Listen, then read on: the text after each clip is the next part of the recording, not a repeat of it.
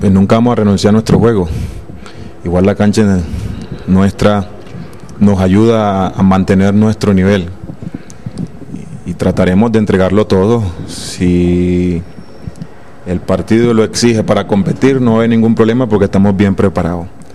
El partido es para circular y para manejar bien la pelota, no vamos a tener ningún problema porque tenemos jugadores de, de muy buena técnica, de jugadores inteligentes que en el frente de ataque cualquier opción generan y, y ojalá Dios quiera todas esas opciones que tengamos podamos concretarlas, que nos puedan dar una pequeña tranquilidad el partido de vuelta. Estos partidos de Copa son bastante difíciles, hay veces no se generan bastantes opciones, pero puede quedar una o dos y, y, se puede ganar el partido. Así hizo General Díaz, General Díaz acá, dos errores nuestros y, y las concretó y, y se llevaron un buen resultado de acá.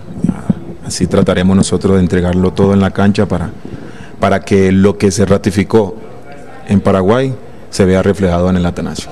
Han sido difíciles todo lo que hemos jugado porque eh, no ha sido fácil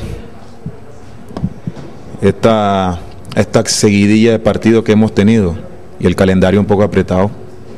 El profe lo ha manifestado que acá en Colombia, no sé, maltratan al, al, equipo que, que, está jugando torneo internacional, porque ¿cómo hace posible que nosotros jugamos un domingo, miércoles Copa Suramericana y el jueves Copa Postobón?